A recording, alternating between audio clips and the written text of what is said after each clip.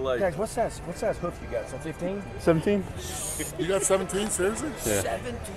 17, that's judge. That's a judge foot. I got a 15. Hey, can I can I compare your big toe with Aaron Judge? Just to see a About big toe?